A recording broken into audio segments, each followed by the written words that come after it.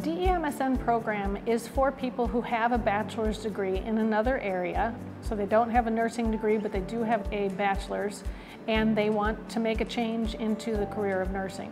The program is designed to help those who come from other backgrounds, so even if you have um, very little or no experience in medicine or nursing, um, the program is designed to support you and kind of introduce you to the field. So something that I love about this program is the tight-knit cohorts that we have. Um, my class specifically has about 10 to 15 people um, and we all come from different walks of life with different backgrounds. So I like that I can kind of ping pong off of their experiences and, and learn from what they've done in their life and in healthcare. I'm originally from Nashville, Tennessee.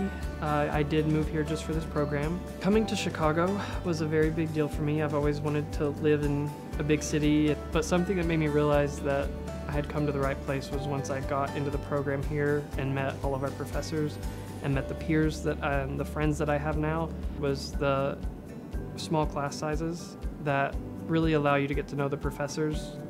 I have no doubt that every one of them want to see us succeed and are willing to do whatever it takes to make that happen.